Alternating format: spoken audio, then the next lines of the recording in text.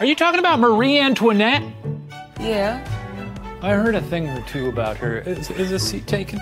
No, it's not really a seat, but okay.